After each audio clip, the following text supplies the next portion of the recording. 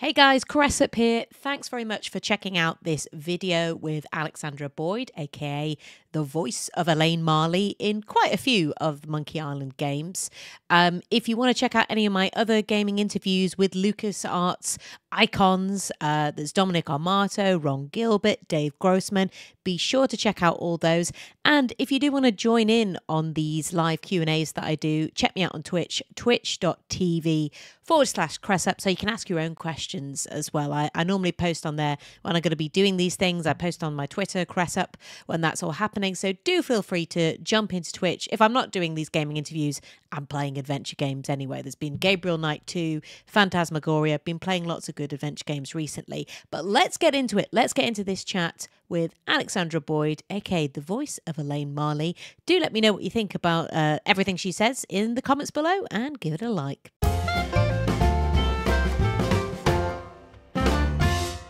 So I'm very excited uh, to be speaking now to Alexandra Boyd, uh, who, of course, provided the voice of Elaine Marley for most of the Monkey Island uh, series.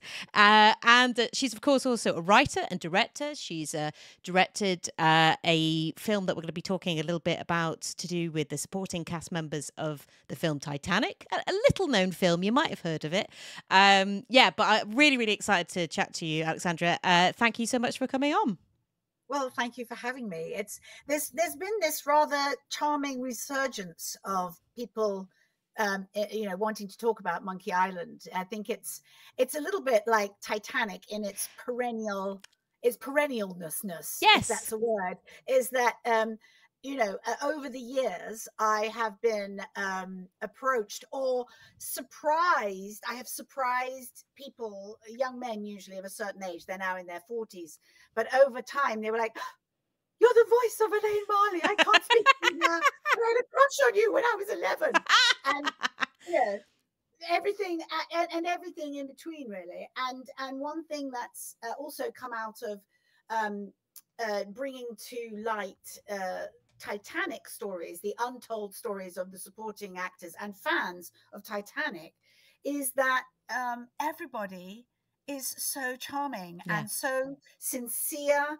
And, you know, I have a friend who says, you know, fan is just short for fanatic. But what, what fabulous things to be obsessed and passionate and fanatical about. You know, there are far worse things. Yeah. Yeah. I agree. I've got know, to agree with that. Know, so so as the receiver of that sincerity it's always always charming so I'm charmed to be here. Excellent, lovely. I'm glad to hear it. We're charmed to have you, so thank you so much. Um, I will get round to. I, uh, I've seen the Ship of Dreams. I uh, definitely want to speak about that and just all all the stuff related to that. We'll kick off though. We're, we're talking a little bit about playing um, Elaine, and I, I wanted to know uh, how did you come to audition for the role? Well, it's it's a lot like any of these things that start off as just a job. And I was living in Los Angeles. I actually lived there for 10 years, and my bread and butter was television, TV commercials. And I was uh, quite successful at that when back in the day when you could sort of make uh, little chunks of money from every time your ad was shown on the television, you got a $50, you know, or something, depending on when and where and um, and so I was, and and also being British, living in the states, I very often was asked to do an American accent, but sometimes they'd be like, "But why don't you just be English? We'll just make her English, right?" Yeah, that happened in Mr. Holland's Opus. Um, the character was, of, of course, written as an American, but they would they were just like, "Well." English people get everywhere, as we do. And so just be English. So I'm not quite sure if that's what happened with Elaine Marley, but um, Darragh O'Farrell was the director then was holding auditions and I auditioned and I auditioned for several things for him. There were often, you know, LucasArts were doing um, Star Wars uh, games. I had to match Emma Thompson's voice one time. You know, it's very emphatic. You know that sort of thing. I got. Oh right, yeah. You know, so there were there were all sorts of very odd one-off jobs that I got, and Monkey Island was a one-off job, and then it was another a second off job. Yeah. third, and then I moved back to um, England in 2006 about and they announced they were going to go back to the beginning Yes. when and and voice you know when they had little speech bubbles and everything they were like two-dimensional pixelated you know little egyptian characters. And so they wrote the script for us and i went into a um a recording studio in london which was back in the day before zooms. Can you imagine? When they had to patch us through from from from san francisco or palo alto wherever the director was. And we i singularly on my own because you never meet the other actors you'll will No, of work course. Yeah. odd. It's it's I mean it works, it works, but it's very odd. I've never met Dominic Armato. I was going to ask I- you. Yeah. no, no, no, no, no. No. we need to And, make that uh, happen. but yes, a- reunion. Um, and that would be a feat of of some size. Yeah. Yes. Um, but I went into this uh, into the studio and um, re re-recorded. I don't know if it was re recorded the whole lot all the way back up to the present day. But that was about ten years ago. Yeah. ten years easily. 10, 12 years ago. Oh wow, okay. Um yeah, I yeah, because I was going to ask if you if you had uh, if you had met him, but I I because I know when I, I have spoken to him and he you know he said the same in the, in that he can't it's all recorded. and, Uh, and any any uh cartoon animation voiceover you do rarely even with big name actors you see them when they're in the booth they film them in the booth it's just them Yeah. it's rarely rarely do you have a conversation with the person and the and the way they get around it i think is um and I like to do this anyway, is that it will be, you know, there'll be short lines. You're not having these long, you know, Shakespearean monologues in these games because they're usually answers or steps to the next step or whatever. As I yes, understand yeah, it. yeah, yeah. So, so what I will do is I'll say, right, well, here's the line, and I'll just do it for you three different ways. Yeah. So, so when they get to sit down and they're putting all the jigsaw piece pieces together, they they can choose one of the three ways you did it, and that kind of covers them. They love that. They love that. Oh yes, yes, yes. and it's also easy for me to do. I don't know. Think. Let's think of a line. Oh, Guybrush, what are you doing? Oh, Guybrush, what are you doing? Oh, Guybrush, what are you doing? You know, and then they can just right. So it's it's it's clearly not impossible because it's how they do it. I, I'm interested when you when you sort of auditioned for it. Um, were were you aware of Monkey Island at all? Did you have any idea about the, the fandom and all that? In fact, in fact, they sent me the CD-ROM Yeah. of the game, the first game, and I put it in, and I barely, I didn't get off the first island. I was useless. I can't do it. I'm too old, and this was 25 years ago. Even 25 years ago, I was too too old to learn how to play it. Look, you're never Yeah. too old. You're never too. um, can you remember the audition at all? Like, did you? Did, what did you have to do, or who was there? Well, it wasn't a very big part at the beginning, Yeah. was it? Because No. it turned into a golden statue. Yeah. That was the other thing. I was not prepared to go through all the steps to see when I got released from the statue again. Yeah. I was just I just knew I was never going to make it. Um, you know, and and all, almost all auditions except my Titanic audition, which I could tell you about Oh, later. please do. Is that um, they they just give you a bit of the script and you just read a bit of the script. Yeah. And I and I bet you I probably started off doing her American and then they were like, oh, you're English, have a go with an English accent, and that was that. And then the second episode or the second episode in after that one, they either were too lazy to find me again and they cast another actor. But apparently I heard there was a bit of a bit of a shakedown. Like, where's Alexandra? She's not American, she's English, and we want her back. So for the third iteration, I got I got invited back. I was going to ask about that. I was going to because I think it. I think it's Charity James who, yeah, in Escape from Monkey Island, the the one It's afterwards. random. It's so random. Were you and were you asked to to to play it again, or what happened? Did you just find out they No, they'd they cast just someone else? About me. No, they just forgot about me. And then there was a bit of I I imagine because again I'm not on the inner No, circle. There was yeah. a bit of an uproar. There was a bit of a, a, a mini a mini uproar, and um, they found me for the next one.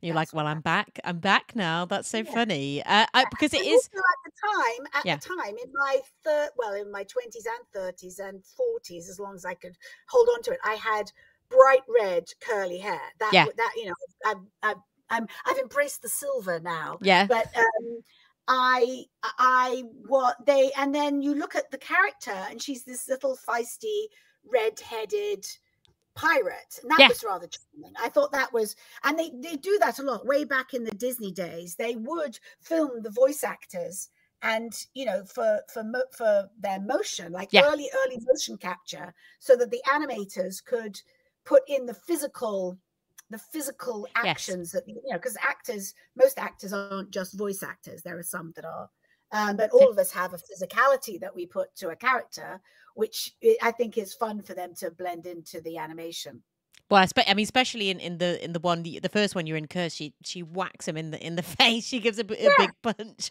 Eventually, when she gets unstatued, um, and I, I guess as well because it's this it's sort of the first time because obviously the first two games there was no speaking in them. Obviously, there's been a remaster now where they've added voices, but um, it was the first time really for fans to hear what the characters sounded like. So I don't know if that. I mean, it, it might not have, but it, I don't know if that played on on your mind at all. Just that voicing up a character that's never been voiced before, and and how did you get into playing her? no i didn't because i uh, all i really had was the script Yeah. and i had you know this is going to sound terribly aggrandizing self-aggrandizing but you you'd have to honor what they've written. Yeah, yeah, yeah. and, and if it's well written a lot of that work is done for you. Um so i was leaning into the script and then darragh who clearly had been along since the beginning or you know far longer than i the the director they're able to guide you. No no no can you make her a bit more like this? Or no in this situation she'd be a bit more like that.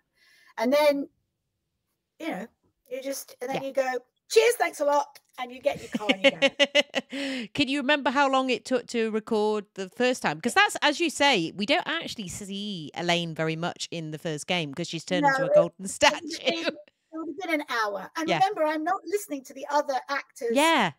responses. I'm just literally laying down line by line by line by line. So who else from LucasArts is is it just the sort of uh the voice director that you've you've met at all or have you met any of the other people from No, No. No. It's crazy. No, it's the same Dominic um, said the same.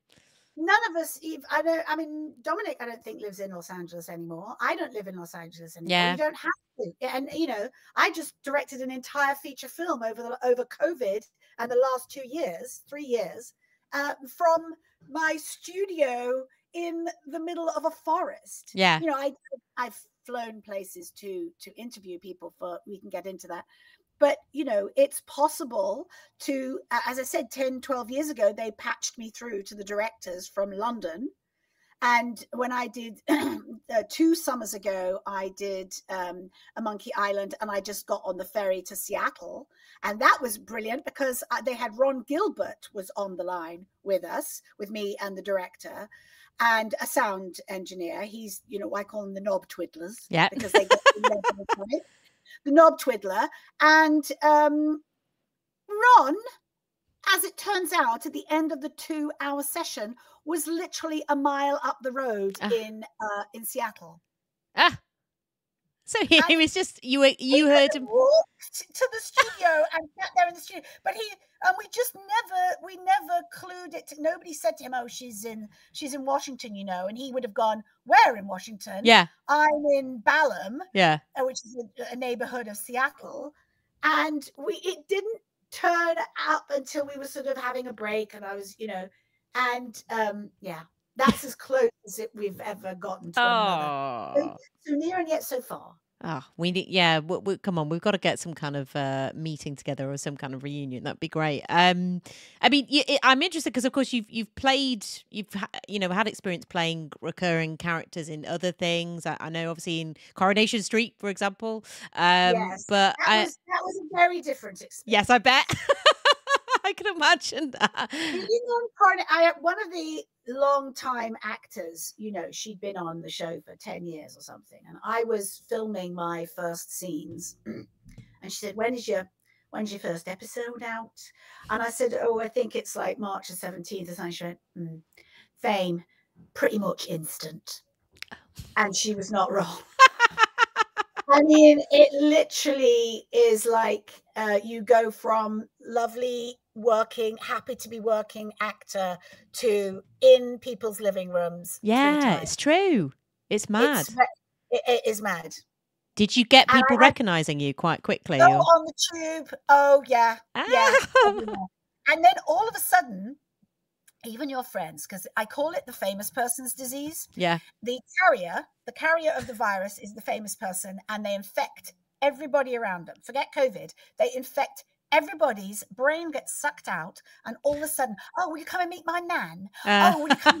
Everybody now knows a famous person yeah. right and they they want a little bit of you a little bit more of you i said you do know that six weeks ago i was exactly the same person Yes. as the i am today it's very bizarre it's it's very bizarre and and people you know it was quite um it was quite uh, all the characters on on coronation street are dynamic but she was quite a shit stirrer Yeah. and so it and very di- you know just out there so it was a memorable character as well it was a tr- tremendous fun to play I bet. I can I can imagine and, it being good fun. um, and so you know it was it, it was impactful and impacted my life quite significantly yeah And then it's interesting because obviously you've you've got that experience playing the recurring character there, but then Elaine keeps coming back as well. Even every time we think that that Monkey Island is is ended, it's back again. I mean, was it uh, was it difficult coming back to to to Yeah. play you again after a while? Was it quite easy to pick up?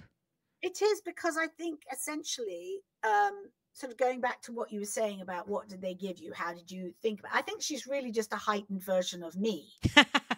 I wasn't. I was going to ask that. Yeah, you could probably ask uh, my partner Drew. Like he would probably listen to a few uh, scenes and he'd go, yeah, you that- know, that's uh, she's just uh so and, and again um you know uh, as voice actors because all you have is your voice you're Yeah. using your entire range and your all your imagination it's a fantastic job you don't have to put your makeup on you don't have to know the lines you get it all done in, in two hours and Yeah. you're out of there it's really a fun job a fun job I've never thought about it like that, but that is a good point. You you you've you've got your lines there. You don't need to necessarily. Yeah, No. I never thought about it like that. But yeah, um, I was I also you know when did you when did you hear then because there's been so many different Monkey Island games now, but when did you hear about uh Return coming back? Uh, the one that came out in, in 2022 was th- and how how does that work? Do you just get a, a call from somebody saying, yeah We want you they have to again. find- well, they have to find you because Yeah. think about it i had an agent in uh, london but i also um, fired them when i started writing and directing i sort of lost interest in you know in pursuing acting especially as the the jobs i was getting offered were really pretty rubbish like understudying people in the west end for less money than it would have by the time i paid my taxes my agent and my oyster card "Yeah, I'd have ended up with like 50 quid yeah, yeah, to sit there and wait for the lead actress to go, you know, and then, oh my God, I'm on. I, I, can't, I don't know how people do it. I do not know how people do it. And I had come off Coronation Street. So I got this really great agent. But they're, you know, the, the roles for it's it's an old, old story, as old as time. the, the, parts for women in their 40s yeah, and then I was here comes he was coming 50 were just not there Yeah. unless you were already very established. And I was at that time getting very knee deep in wanting to be a film director and Yeah. I was directing short films and I was developing feature two feature films one of which became actually happened Widow's Walk and you know it's you just want to work and Yeah. if the work isn't there you have to start following other things that you're passionate about you know so in 2022 they and of course there's instagram and i have a website and i have you know i'm very vocal about my projects because i want people to see my films now or to hire me to write things and direct things so i probably was quite easy to find but over covid the, the first the, what i call the first day of covid which was march 20 2020 march the 20th i hopped on a plane from London to come and be here with my chat. That's another whole movie story. And so I had been here. I am here. And so they email again, I'm not impossible to find. They emailed me and said, you know, you have to, it's all cloak and dagger. You have to sign this NDA because God forbid yeah. you should mention something's happening and it hasn't happened yet. And um, I got on the ferry to Seattle and I and uh, two miles away from Ron Gilbert, I recorded. but they, we were in our, you know, we were older, we were married, and you know, it was it was clever not to still make us in our twenties. You know, Yeah. they, we matured. Yes, yes, I yeah. think- I don't think Guybrush had matured much, but No, no, maybe not. Um, it's normal. I do, yeah. I think in return as well, it feel uh, her personality does seem she seemed to have mellowed a lot. She's not as feisty. She's a bit more supportive. I mean, did you also notice that change a bit? Yes, and we talked about that. Yeah. Yes, yeah. What What did you say? T- tell us more. Well, again, I'm slightly bound by the Yeah. lines. It's not like I'm improvising anything. No, There's no, no, no. no, no, no, no. Good God, no. Good God, no. Um, uh, because and then that's Did you ever try? Wait, wait. Were you ever? No, No, Not no. really. No, no. You know what the you know what the job is. Yeah, You know what the remit is for that. There are there are jobs where you can do that, and there are you know you don't do it in Shakespeare and you don't do it in Monkey Island. Yeah. Apparently. So. Um, and uh and yeah i just i just went with it when you're you know when you're hired to do a job um i think the best and most successful actors just do as they're told Yeah. and then they might bring something you hope they bring something of themselves you know i'm talking as a director now you are you hope they bring something of themselves like example when i was casting the little boy in my uh, ghost story in widow's walk i was just completely had chosen this one little boy. He had these little wonky teeth, and he had it was just this super little kid. But there was one thing that he had to do, which was this underwater sequence, and we and my underwater cameraman and uh, stunt coordinator said said you have to put them in the water because you cannot shoot on land for Mm. three weeks and then we get to the tank and they freak out and this adorable child couldn't do it he Mhm. just didn't have the swimming skills he was very scared about going underwater and the and jamie the boy who got the part was uh he was He was able to. and and he ended up being an amazing actor. He was always they, they- were all good actors. Yeah, yeah. I was, in my mind, it was was this other actor, but the actor who came through was not who I first imagined, and Yeah. that's what. That, and I I speak out, I shout out to all actors. It's like it doesn't matter if you're not exactly what the breakdown says, exactly what they want, because you might just bring something that blows everything else out of the water or fits in in a more imaginative way and that's very exciting for directors So, what did you discuss then in terms of uh, Elaine and her more mellow personality? What kind of things did you say?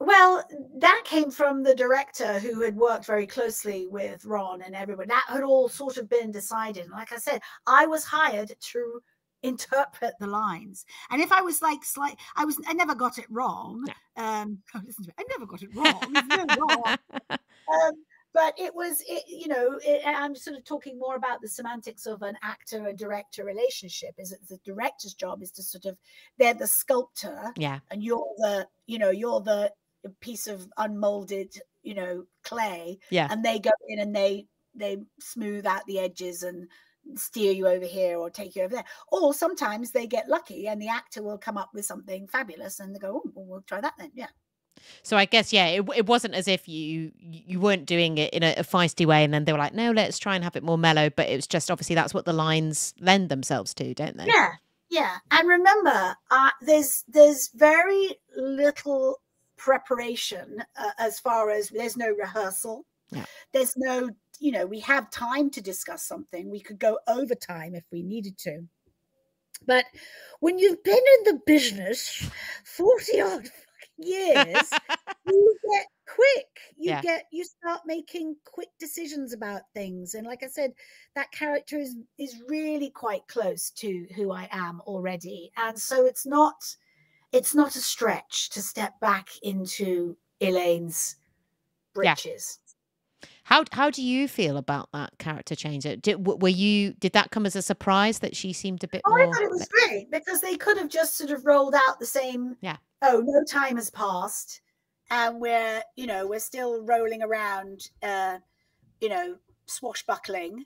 I think it, I thought it was uh, yeah, that was sort of smart. Yeah, because also my voice has changed. Yeah. and my voice is different from what it was when I was 34 or whatever. Yeah. Um, now, Sea of Thieves. Um, tell me a bit more about that. I feel you, you, you wanted to mention something around that, so let's well, talk about that. I do because, and and I want to say this without it sounding um, like you know sour grapes or anything, because it's not that. Let me preface the story with that. And it all was happening around the writers' strike and the actors' strike and the question, the big question mark of AI. Okay, yeah. and how actors potentially are being there's the potential for them to be replaced quite easily, especially a voice. Anyway, so um, we did the 2022 version, and then another email came to me saying, "Can you sign this NDA because there's another job?" I'm like, "Oh, it's another job from this. You know, it's a no, it's another Monkey Island job." I was like, "Great." What pro- the problem came for me was that the money they offered was exactly what they had offered the time before, and only twice what they'd offered before, which was scale. And I don't know if you if people understand that, but the unions create like, look, you can't hire this actor for less than yes this amount of money. Okay. And often on low budget things, it's it's really good because it's a rule of thumb of like, look, well, let's start at this price. Yeah. And if it's low budget, everybody gets the same. It's called favored nations. Everybody gets no, there's no star here. We're all getting paid the same. So I was happy to get twice scale for the 2022 version. And then they wanted to pay me the exact same for, in less than a year, another go at it. And I went, hang on a minute. I have been doing this role. I created this role. Mm. I have been doing this role for going on 27 or something. It's been a long years. time now. Yeah, yeah. But yes. And you still and you have made millions and millions and millions of dollars for they don't even have to print a disc anymore people just download it for there's yeah. no yeah. there's no cost to them except hire a studio hire of actors and then post-production and the animation i understand there's a great deal of work goes into it but to just come back to me and hire me as if i was being hired for the first or second time just really felt yes unfair. And and remember in my in the back of my mind was the writers going do you know what? We're writing these lines and you're making millions and millions of dollars on streamers millions billions of downloads yeah yeah, yeah. and we're not getting a, a, a cut. And that's exactly when you bring it down to the macro and the micro that's how i felt I said, and so they came back and they said, well, it's a fixed budget and everybody's getting paid the same. I said, I'm not concerned with the other actors. Yeah, yeah, yeah. Um, and I don't have an agent anymore to vouch for me. So I'm going to vouch for myself. Okay. And the answer was take it or leave it. Okay. Because because I had asked for not not a horrendous amount of money. Yeah. I asked for a nice chunk of money that made me feel okay about spending an entire taking me out of my forest. Yeah. I don't act anymore. I'm basically Yes. Well, this I'm is the thing. Yeah. Retired. You're bringing me out of retirement to place me into a project that you will once again make a great deal of money from and you cannot express your appreciation for me any more than double scale plus 10%. And is this is when how you sound, how does that sound to you? Well, I think I mean I can understand why you would want to sort of like you say vouch for yourself and that must have been quite difficult when you don't have someone going like an agent, like you say, between you. Uh, was this with was this with Lucas Lucas Arts or was this with? No, no, it was not Lucas Arts. Okay. No, here's here's what made it easy, and I go back to actors and ha- the what the wonderful thing about actors and the thing that shoots them in their own foot. Yes, that they will do anything to yeah. perform. You know, yeah. the door opens and they start tap dancing. It's like, and I've done that. I've been that actor. Oh, just give me a job. Oh my god, I was good enough. Yeah your thing. Thank you so much. Thank you. But I'm now not that actor anymore. Yeah. You're actually inconveniencing me to come and give my talent yeah. to your show.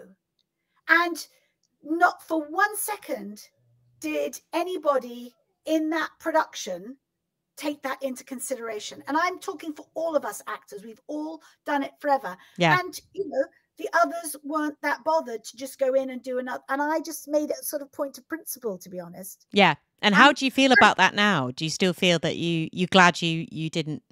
Oh, without a doubt, because Yeah. I couldn't have asked for the big chunk of money and then come back and gone, all right, then I didn't mean. Yeah, yeah, yeah, yeah.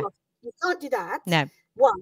And here's the other thing, and I've experienced it with Titanic as well, because there are not just actors in um, Ship of Dreams, Titanic movie diaries. There's the fans. I was really captivated by by people, as I said, who are utterly passionate about that ship, the history, the film, Jack and Rose, everything. I am completely, I completely wanted to honor the fandom. Yeah.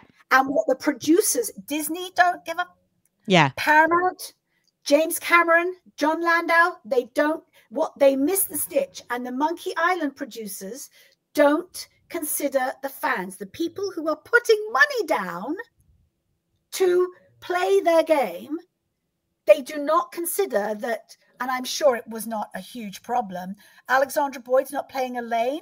Oh, we'll just so they said they didn't have the money to pay me, but they had to go and hire a casting director to pay somebody to get else. somebody else. I I did wonder wonder how that would have worked.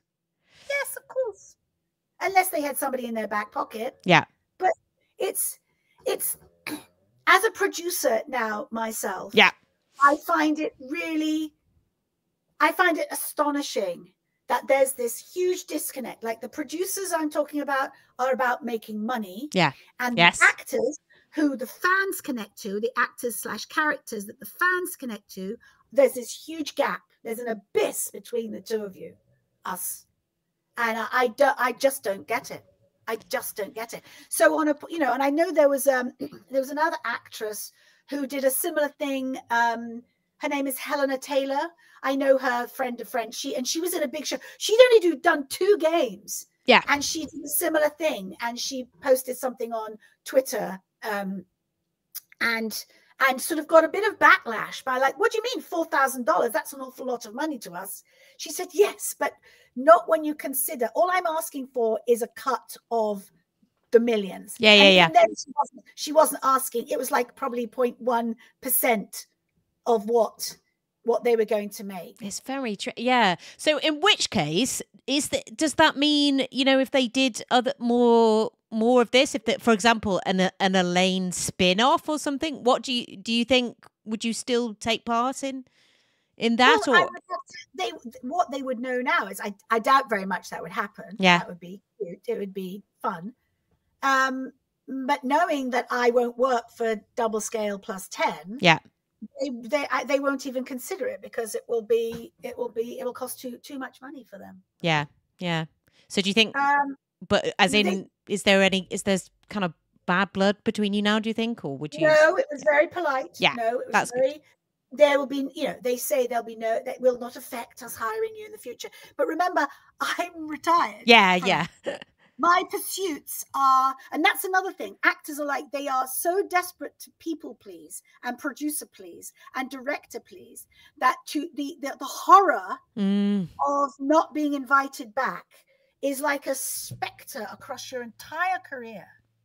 It really is because actors, unless you're George Clooney or or you know Tom Cruise, who make their own stuff eh, as well. P.S. yeah yeah yeah yeah Unless you're that level, you and remember and- notice two male actors came to mind, not Cate Blanchett or Kate Winslet yeah because they don't have the power in the same way as the male actors do, the A list actors. That's a whole different world to the jobbing actors here and my jobbing actors that are in my documentary about Titanic. that nobody considers them because they're just, oh, choose me, choose me. Oh, Yeah. I'll do it again. Oh, God, I can't piss anybody off because I might not get chosen again. And and I'm at a at a lovely point in my life where I have other exciting things to be putting my energy into. And I'm sorry for all of the Monkey Island fans who are like, oh, she doesn't she doesn't care. I I care. I cared a year ago enough about myself Yeah. to honor my experience and my training and my intelligence and my all the things I know now and all the fun of it. And they do not so much. Which and so as in I th- but you would still work with them if they ever gave you that opportunity. But as in, obviously, they would have to Yeah, yeah, of course, of course, match and of yeah, course. Because you know, it's and it's not. Again, I'm I'm trying to frame the story without saying it's not about the money yeah, or the amount of the money. It's the amount of connection they have to the craft yeah, and to what you bring. And Hellena even says it in her videos. You know, so I've trained here. I trained at LAMDA. I trained at this place. I have all of this experience. I'm not just showing up with going, you know, can I have a go? yeah, yeah, You're you're hired because you've been you've been, you know, sifted through a whole bunch of actors 30 odd years ago. yeah, yeah. it was. and I can't even remember. It was it 92, 93? I, I, It was- would well for the first one. The cur- the curse one came out in 1997. So, but I, you might have recorded it. I don't know if you recorded it the year before. No, I recorded it same same. so year yeah, did 1997, same as Titanic. Yes, yes, that was that year, apparently. Um, yeah, is that um, you know what I'm saying? Yeah, no, I do get it. I do And get it. Laura, when you get to a point in your career, and, and your career is kind of similar, you know, you're, I, I, you know, whether you're freelance or working at an organization that could fire you at Yeah. any point, you know, your your career is creative. You have to use your brain. You will find out that, you know, in ten years' time, you are ten times the the writer and the journalist that you are now. That's just fact Yeah. because of your life experience. You can't give life experience to you know, every so often you'll get a Timothée Chalamet or somebody, somebody who who has this beautiful essence about them, but it's so rare. Yeah, yeah, yeah. It's so rare. And as you get older, your priorities change based on your life experience and your professional experience. And that's why, as a director, I know I bring so much to a story. I, I'm not a technical director. I am not, I don't know anything about cameras. I, you know, they frighten the life out of me, but I have, I'll choose a brilliant DP, cinematographer, who will create those frames and those shots for me so I can concentrate on the actors and the story and the way, you know, and the feel and the tone of the film. And that's what excites me now. Well, let's talk a bit about that. Let's talk about uh, sort of ship of dreams. And by the way, feel free. I know some people's uh, sort of uh, commenting, so feel free to if you've got questions as well, uh, ch- them in the chat. But I let's see them? Where can I see the chat? Where? Can Oh, I up? can. Um, if I I could maybe drop you the link if you wanted of, of the thing, but uh, you'd probably you would need to have a Twitch account, I guess. So, but I could probably. I don't, yeah, I'm not on Twitch. But just um, read some out. I, yes, I I'll read them out, I'll read them Monkey Island. Let's not move on from Monkey Island if people have some questions. Yes, well, it. we've got a question in here from someone called uh, Lestat who says, "What do you think about the the humor style of the games?" I'm guessing you you you enjoy that, but yeah, oh, yes, yeah, absolutely, yeah. Because I know a lot of those games are all like war games and shoot 'em up Yeah. and Vikings and you know army. That you must have felt army quite fun to be Yeah. part of. I imagine. Yeah, but I've always, I've always really only done the fun ones. I've, I've only ever been cast in the fun ones, really. Yeah. I think once I was, I didn't get the job, but I was asked to. Have you been Yeah. in any other video games? Yeah, I was a, I was a bug in a thing about uh, Thumbelina. I was a little bug, and um, but that was, excuse me, that wasn't a computer game. That was an animated. Oh, was it right? Yeah, yeah. and yeah. also um Krusty Sloop Scupio, I can never say their name. The um oh god, what was it about the family who lived in a in a sort of motorhome and went around Africa? Okay. that? Oh, Yeah, the Wild Thornberrys. Yes, well, Oh yes. remember I do these things like they're an afternoon of my life. yeah, know, yeah. and, and so I have to. And I've been going so long, I can't remember everything. Yeah, Wild Thornberrys, I did that. That was fun because it was a feature film in a cinema and everything. We got to Yeah, yeah. again, red hair and little freckles. This character, Victoria. Her name was Victoria, and she was very posh, and she was at a posh private school, and she was very interested in things. Yeah. Amazing. I didn't realize you were in the Wild Thornberrys. Uh, that's great. Actually, you'd have to dig a bit to find it. No, yeah, it's a great, it's a great, it's a great, uh, it's a great show though. Um, but yeah, I mean, uh, yeah, if, if if there is any other questions, things like that, p- p- please keep dropping because I can just ask, I can ask away. Um, but I I do want to to know a little bit. Thank you for letting me watch uh Ship of Dreams. Um, I, I guess if people don't know sort of what what that's about and your connection to it, um, tell tell us now. Tell us a bit more about it. Absolutely. As we are taking ourselves back to 1996. Yes, yeah. I hadn't been I hadn't been in Los Angeles very long at all. I didn't have an agent uh, or a manager or anything, but my friend was working in a manager's office and he he called me. He said they're looking for English actors to go on this project about Titanic that James Cameron is making. And I was aware of James Cameron. I loved The Abyss. Uh, you know, and the second Alien movie, and I, my, but my partner at the time was like, oh, James Cameron, oh my gosh, oh my gosh. So um, I wrote to the casting director. Matt gave me the telephone number and the address of who Mali Finn, and they were really casting the net very wide. Um, and they really were looking for local Brits to be in it, and not just you know you had to have a look. You had to have a look like you right. were this, and I did. You know, I looked very good in the in the gauzy and the hair, and um, I auditioned for the Countess of Rothes, which was a part with no lines. And at the time, I was I was going to agents interviewing, like, please represent me. I said, look, I've got I'm going in for this Titanic project. And this one agent goes, he looks it up on the breakdown because they all know what's what's out there. Well, this it's a part with no lines. Why would you want that job? I was like, I don't know. I just got here. I'd like any job. Thank you very much. you know, it's catering, you know, yeah. doing, doing a typical actor's day job.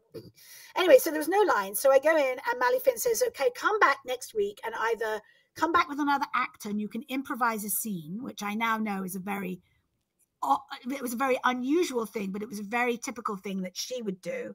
Um, or write something. I was like, write something. I can't. I haven't written anything since school. So I had a friend help me, and um, I did a ton of research. I watched A Night to Remember it. anyway, I go in, I record it, and um, I didn't get the part. Went to my friend Rochelle, who is a very, very good friend of mine now. um, and I was like, oh well, oh, that's a bummer. And um, and then about three weeks goes by, and my pager goes off, and um, I got a call to say uh, James Cameron saw your audition, and he's going to give you another part.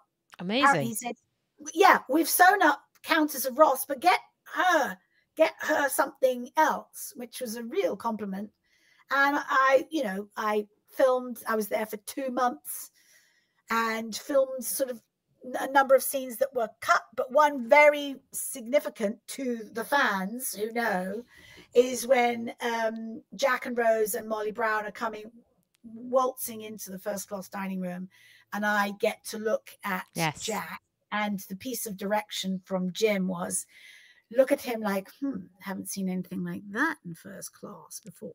um, which all comes across in one look, of course. Of course, yes, yes, yes. Yes. Um, and now I'm the uh, eyebrow lady. Or as some people, some people in their mind, they think I wink at him. I do not wink. I think about winking, but I use my eyebrow. And and so um, fast forward 25 years later, and it's won all these oh, won all these. Well, no, fast forward to the Oscars, and it wins all the Oscars, and I'm still in touch with these actors because we just spent so much time together, on set and off set, or in the dressing rooms, or in the bar of the Real Del Mar drinking margaritas in Mexico. And um, I think it was Rochelle who said, you know, we should sort of write down this experience we've had because it's quite unique. And you know, we're like the munchkins in the Wizard of Oz. If we had first person account. So I I badgered everybody to write down their experiences. There were 28 of us. I have 28 diaries. Wow. And we tried to get it published and nobody wanted no, it was no, literally that ship had sailed in 1998. and I still have all these diaries. So 2 3 years ago I could see the 25 year anniversary coming around and I'm now a filmmaker. I've made my first feature film, which was a narrative, a ghost story, Widow's Walk, which you've heard me talk about. Yeah. And um, and I'm working with this producer. I like, Nick, I've got these diaries. There's got to be some value in sitting the actors down and having them read.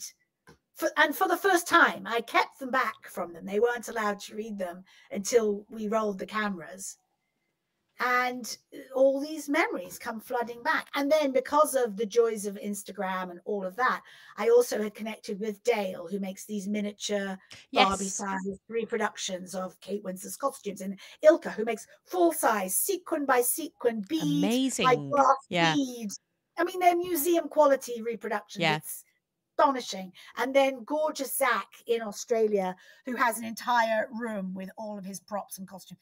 It, now that I don't know if you saw that a couple of weeks ago there was a sale of props and costumes. Yes, Hollywood. Um, uh, the um, not the um, Hard Rock Cafe, but like, like some somebody had a huge collection of props, yeah. and the the the piece of board. It's not a door. Yes the piece of um, paneling that she floats on went for seven hundred and fifteen thousand dollars. Wow! So I wanted to combine that um, that give voice to the actors yeah. who were never asked, and combine the question of why this film captivates people, people who weren't even born when we shot the film. Yeah. Or young people when they see the film for the first time um, and I haven't really answered that question, but I and I'm not bothered by it actually anymore. That, that it doesn't matter. It's it's something that is so hugely significant to that community. And you know, April the fifteenth, here comes the anniversary again, yeah, and people yeah. get together and they talk about it and they remember, and then it's all filtered through. For the most part, there's a there's a faction of people who hate the film who cares?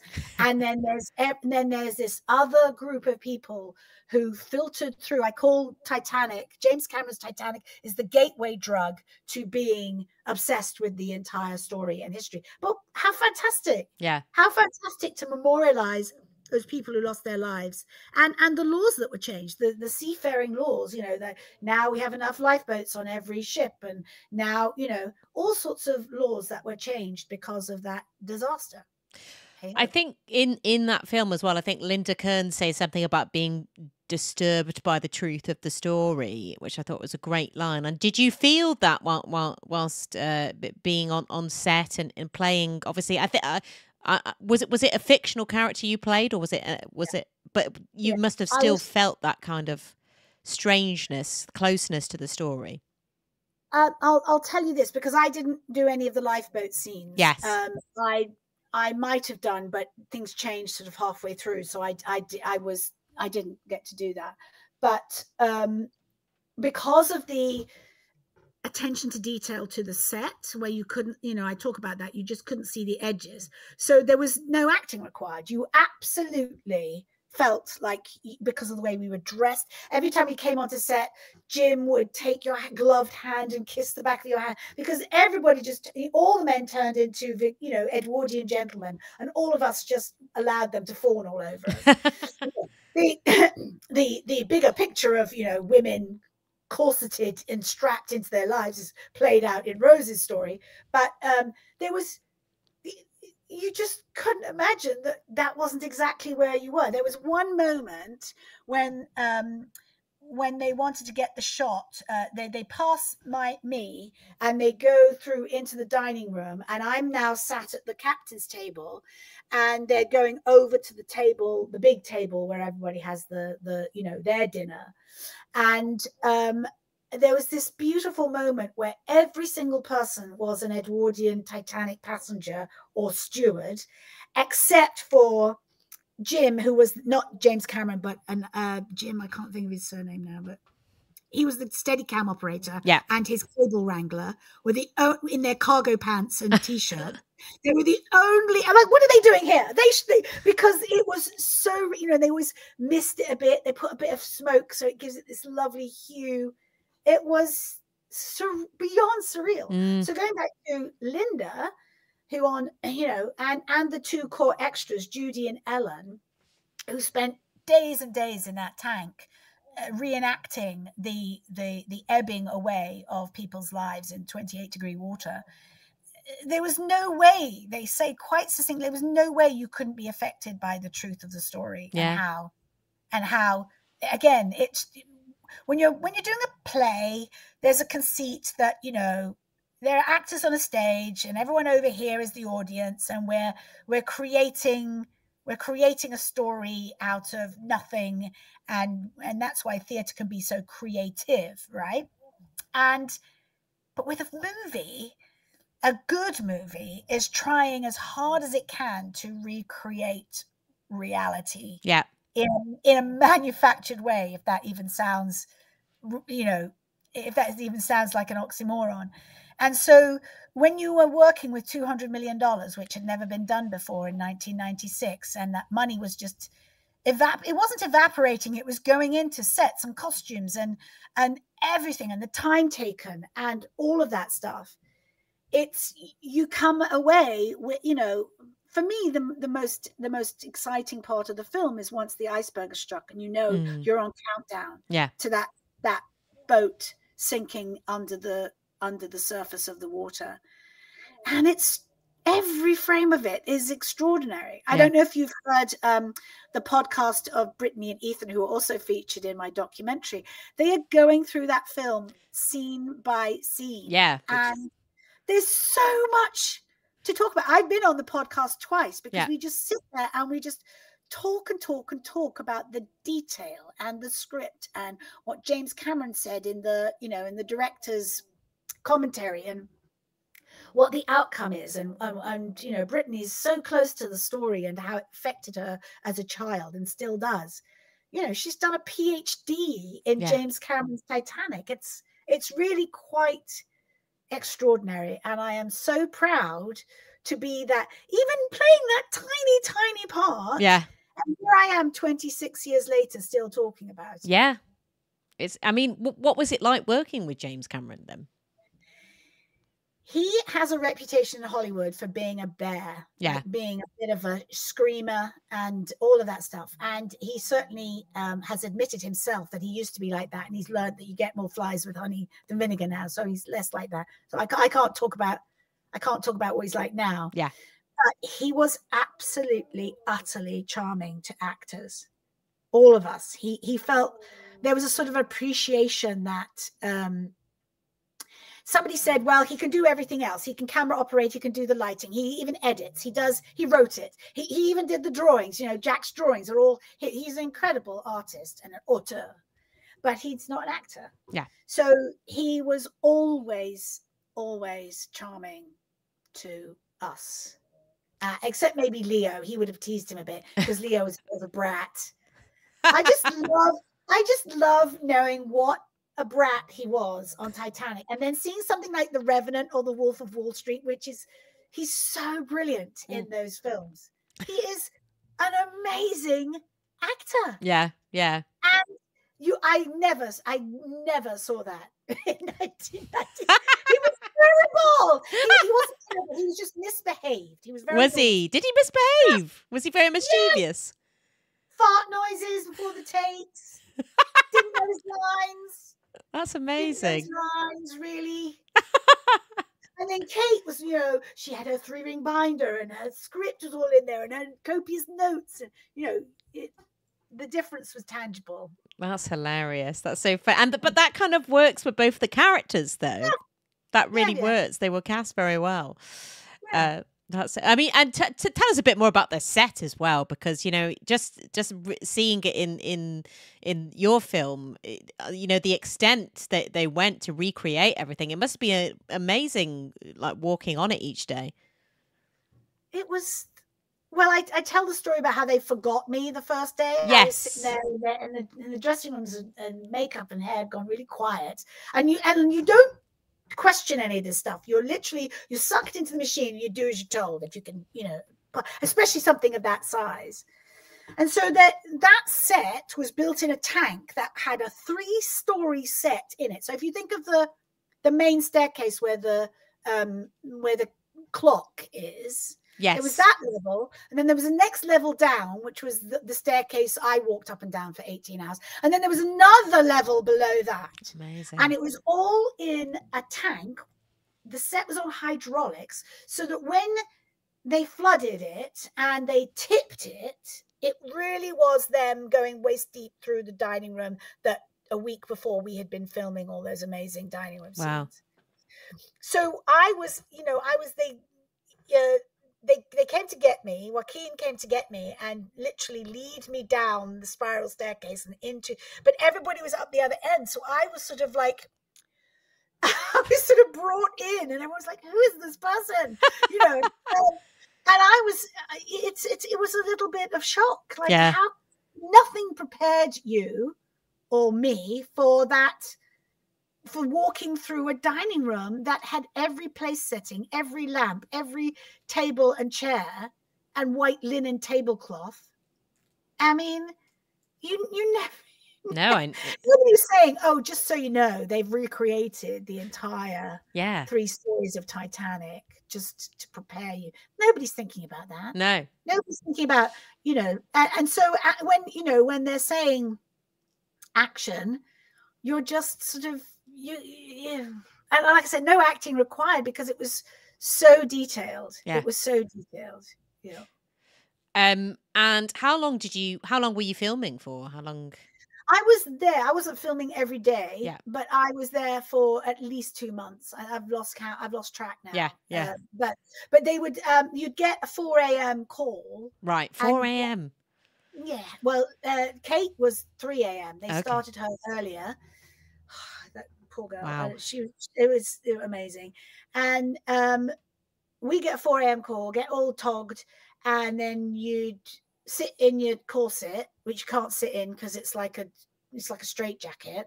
Um, and then it'd be 4 p.m. in the afternoon, and they'd be like, right, you're wrapped. We don't need you after all. And you just get all your kit off and go back to the hotel. Yeah, So there were times when they just had you ready just in case they needed you, you know. I see. Yeah, and then but they they have you already and you're just having to sit in your courses and Yeah. yeah. Yeah. Gosh, that They must have been get ra- they difficult sometimes. around- They didn't tu- turn around to where you were or they, you know, whatever it was.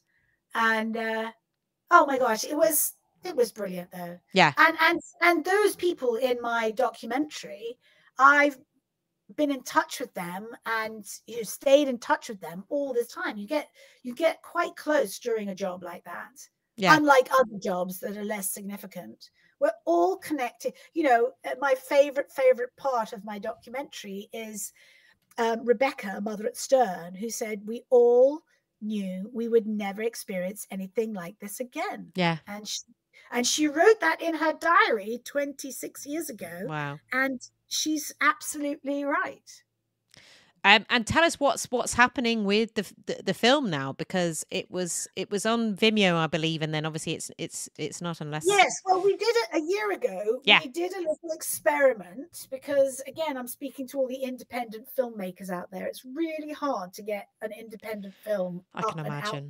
I can And we imagine. thought, well, this is Titanic. We're going to have, you know, we're going to just be inundated. We hope Vimeo can, does we don't break Vimeo. So you know, for the anniversary and to do a little sort of press release and get some reviews. You're trying any way you can. You know, we put some money into Facebook ads because Yeah. a lot of the Titanic fans live in in the face and the Titanic groups live on Facebook. But we barely made two hundred dollars in Mm. downloads. It was two ninety nine to watch this film, Yeah. and I'm telling you, here's my theory. Because again, I'm talking now from the other side of the acting world, where I'm a producer and a director what I realized, or what we learned, was that people won't even now spend two ninety nine to rent a movie when they Mm. can watch every movie in the world for six ninety nine a month or ten nine, whatever Hulu or Sure. Netflix, because it feels like it's free. Yeah. Right.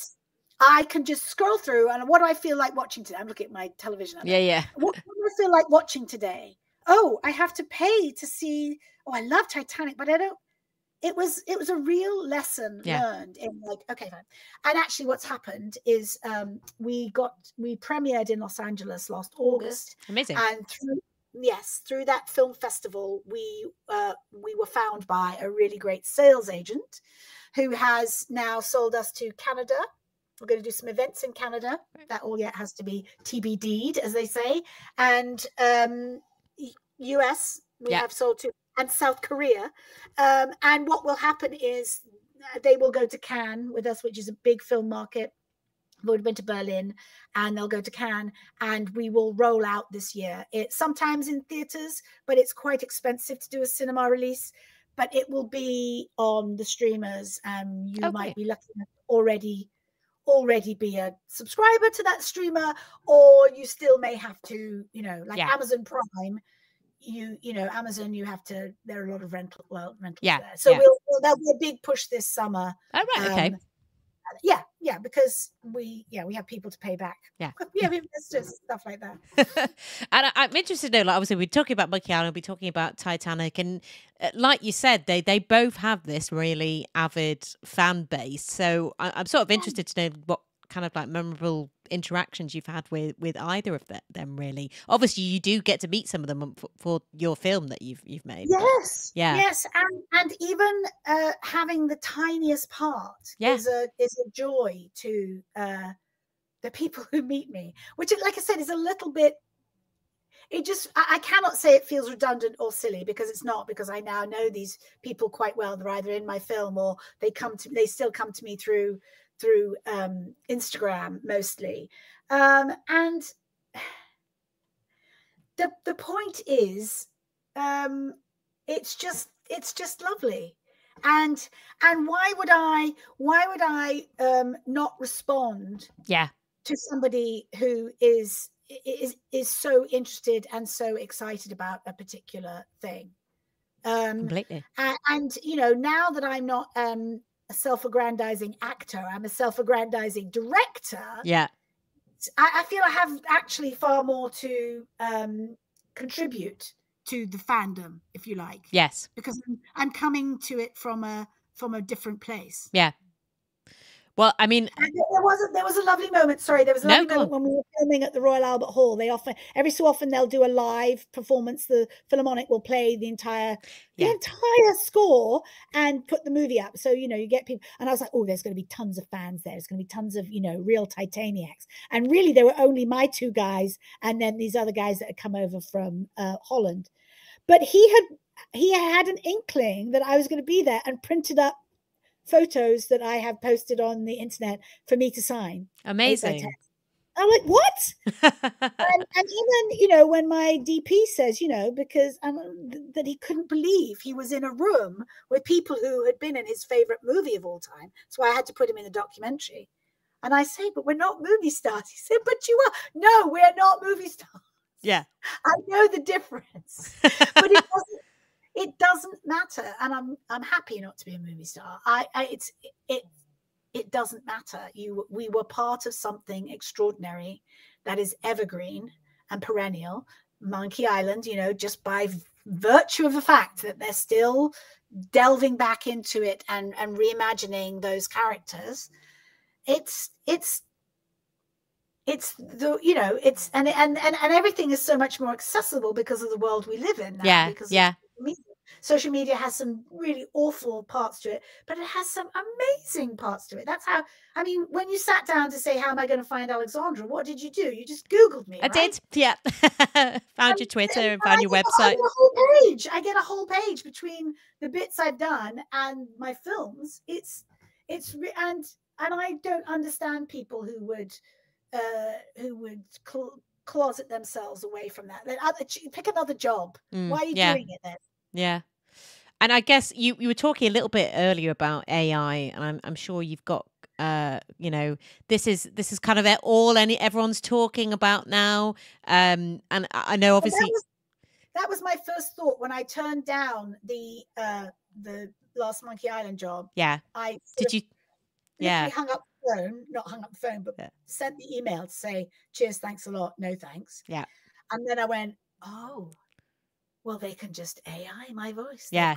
got 20 years I think there would have been an uproar if they'd done that. well i i contacted screen actors guild and now they are i said look it's a bit late in the game i know that you're ha- you haven't done this already and that again that was part of the actors strike but there's voiceover a gaming uh, question it's a different contract and they said well let us know if it's not your voice. Um, and they've given a, a credit to an actress and i'm hoping she's a real person. They haven't just made her up. But but again you know um, what am i going to do? There's Yeah. no jurisdiction at the moment. And that's what scares the actors. That's what they you know forget being replaced with something that you've already done which is easy peasy for them. Um it's the just creating whole new product um, productions and projects without actors at all, which I don't think will it won't hold up for very long. No, It'll hold up for a bit, and then I mean all this stuff with uh, Kate Middleton and that that that video they put out. I I, I think it's AI. I don't think it's her. I, I you know I, I don't want to delve too much into the conspiracy theories, but it doesn't matter yeah, that it, that video is decidedly distinctly unnatural and unreal so somebody's either messed up and lit it oddly and put a green screen behind it. sure, yeah, yeah, or it's ai yeah. you know it's it's like it's one of two things Have you put? Have you? I, I suppose it's it's different now as as as a director, but I, I mean, have you put any kind of? I suppose you you've mentioned there. I was just gonna you know ask it as a fail safe. So what what can you do really to stop uh, a, AI from from nothing no No. yeah because it's so easy i mean have you used chat gpt yes a little bit yeah I've used it. Yeah. Yeah. I've used it because it helps me rethink what I'm trying to say. Yeah. Like, especially for a log line for a movie. I always ask, what's the log line? What's the elevator pitch? What's this? What's that? You know, eh, they want to know what it is, but like that. And if I put it into chat GPT, it's a bit wonky. It's a bit yes overblown. yeah But I'd rather it be overblown because now I can re-edit it to what I want it to be. And uh, the the well, the genie's well out of the bottle. So you've got to say, right, um, what's it? What what's going to happen? Um, and you can't go back. So we have to embrace it and use it wisely. But there are going to be people who won't. Yeah. and they're not. They're already not. What advice would you give uh, to anyone sort of starting out in this industry, and, and particularly women? I, I, I guess because it's it, as you know we were talking about before I came on air a little bit about this. You know, just even female directors, it's quite it's still, you know, Well, not rare because they exist, but they're not getting Yeah. perhaps the same accolades No. or attention. Maybe, or, opp- no, it's opportunity. yeah, It's opportunity. yeah, Because um, I've already, in a very subtle way, been passed over for uh, male directors who have 30 years of directing. I have 30 odd years of acting, but not directing. Yeah. And I haven't worked with Robert De Niro, who I could bring to the project, and I haven't worked with this person who I could bring to the project. So there's a there's a conversation about me being the director until it's not because there there's money involved and there's experience and there's talent involved talent as in actors. Yeah. so that will happen. So i can't roll back the time and have 30 years of directing under my belt. That's just a fact. Yeah. so the opportunities are being curtailed for me because because of that not because of my ability. And you know there's a lot riding on the money and this and that and the other there were there are other factors too but that's kind of the the kernel of it. And my reaction to that is i've started a non-profit called artemisia's daughters and it's about uh, google artemisia gentileschi because it's based on in part on her story. She was a baroque female painter whose work is still 500 years later still mistaken for caravaggio and Right. their male counterparts so Artemisia's daughters, we're all standing on her shoulders and all of the shoulders of the women who have hustled their way to a position of creativity. And so we make movies and we're tr- creating workshops for young women, giving them a camera, you know, using your phone, you, you know, just come and be and just see that this is a, these are there are jobs in the film industry that you can do. Yeah. And not just acting and not just makeup and hair and wardrobe. Anyway, so that's my part of it. But the other part is that we have a long way to go before there's parity in opportunity. I'm working on a television show that I've written. I've written the pilot, and I'm working with a female uh, producer in the UK. And one of our first meetings after she read the script, which she really likes, that's great. She said, We're going to have all female directors. This is going to be a female led, female created, female, male, you know, many, the, the, the main three characters are women in a man's world. Uh, and we will have female directors. So because I can't keep subscribing to the fact that like oh well alexandra can't be a showrunner because she's never been a showrunner on Yeah. a on a tv series before well why hasn't she because Yeah. I haven't had an opportunity. She said, "You opportunity is what has to be there, and then and and, and allowing us to fail a little bit as Mm. well." And the thing is that when you're talking about a million pounds an episode for something, they're not going to let you fail. They're going to surround you with the best cinematographer, the best costume designers, the best actors, because nobody wants to fail. Yeah. And and you know, it's that's what's changing ever so slightly is being given the opportunities and of course what it also boils down to you, your question was what would you say to somebody Mm. who's starting out is that you have to make your own opportunities Yes. Yeah. i i taught myself to write because i couldn't be bothered to negotiate with uh, with writers who wouldn't cut this character or make it more budget friendly so i just wrote it myself Yeah. failed a bit maybe but not that badly widow's walk i am very proud of widow's walk every frame of it every scene every actor everything we did it's quite spectacular for a low low budget supernatural thriller and then i you know i when i started directing i didn't go to film school but i realized i'd been at film school i've been at film school my entire career Yes. Yeah. starting from when I was acting at drama school doing Shakespeare and Chekhov and and all the stuff, and then soap opera acting, and then James Cameron, you know, epic movie acting and everything. I've it's all here. Yeah. Yeah. Yeah. I'm just driving on the other side of the road, right? Yeah. But I'm having to make that's what I because I do that here now. yeah. I'm having to make my own opportunities. If you Mm. sit around waiting for other people, you can go, you can get very old very quickly Mm. worrying about why you're not being chosen and why they are.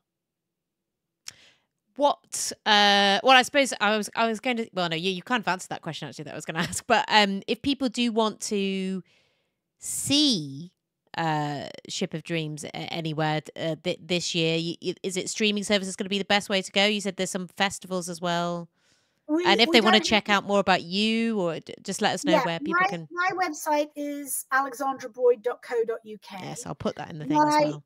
Instagram is the best place. That I'm not t- a terribly prolific Instagrammer Sure. because we have a podcast. We have a Titanic Talk podcast where we have Yes. actors in the film and historians and authors and and explorers and we just anybody wants to come on and talk about Titanic. And trust me, there are many people. Yeah.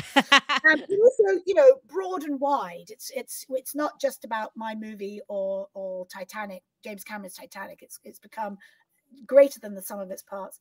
That's on Instagram, which is Titanic underscore talk underscore podcast. okay. My my handle is a contraction of first class woman, which is my character in Titanic.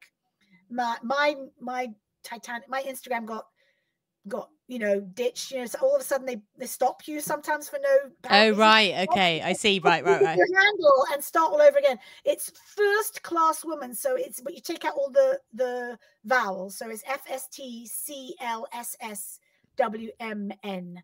First class woman. So I put all my stuff there up there.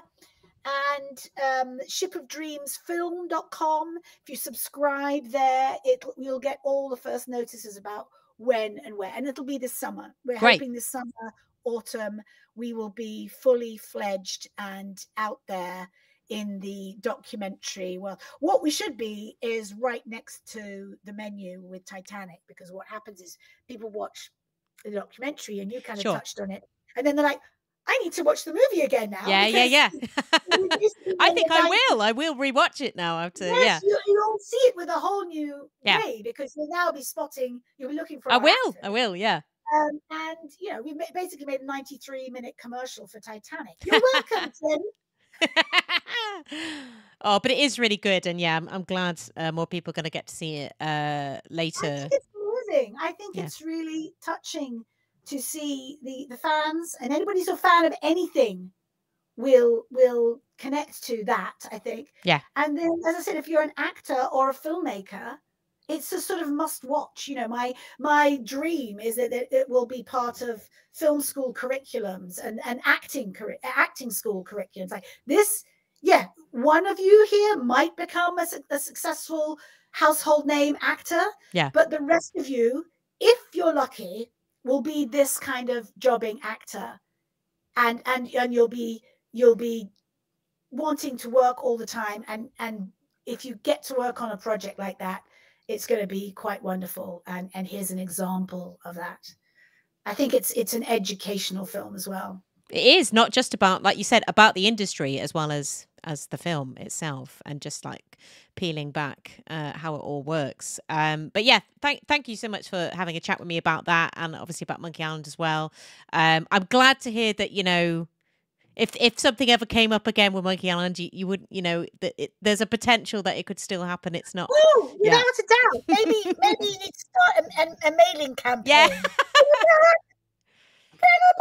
Back. Yeah. Yeah. Of course. Of yeah. course, of course, of course. Yeah, excellent. Well, thank you so much, Alexandra. I really appreciate uh, you spending some time with us. I'll put all the I'll put all the links and everything uh, in, in with this video uh, so everyone can go check out themselves. But uh, anything else you want to say before we say farewell?